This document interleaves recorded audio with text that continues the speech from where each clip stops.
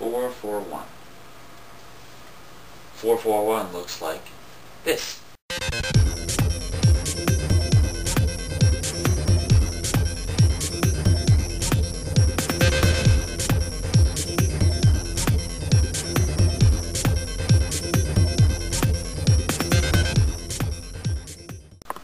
Okay, 441 is basically a beginner's pattern. You really shouldn't be having any trouble trying to get this pattern down. But nevertheless, we're going to break it into two parts, the 4-4 part and the 1 part. Okay, to practice the 4-4 part of the pattern, take two balls, one your right, one your left, start with the inside of your, of your body and throw each of them to the outside asynchronously, starting with your right, like this. And then repeat. Get used to doing this with your starting with your right and then with your left. Throwing from the inside, catching on the outside. I'm not throwing the ball straight up into the air, but rather starting on the inside and catching them on the outside. Now when you get to go with starting with your right, do it with your left. Start with your left and get comfortable with doing that as well. Once you're really good doing that with both your starting with your right and your left, you're ready to start working on the one part.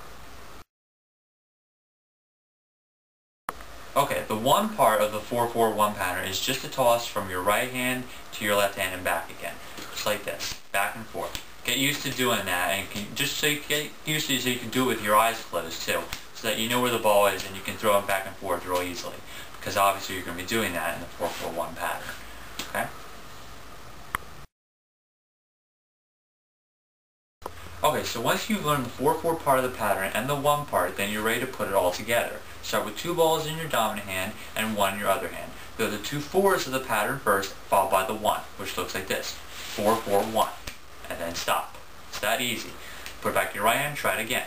4-4-1, and stop. Once you get really good at that, start doing it with your left hand as well. Throw, throw, stop. 4-4-1, stop. It's really not that hard. Then start doing it more do two passes. That was one. There you go. And do it back and forth like that.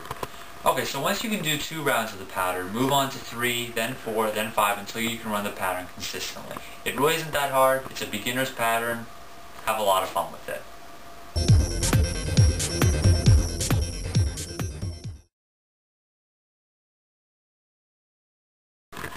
You know, I wonder what it would look like if I did it from the outside to the inside.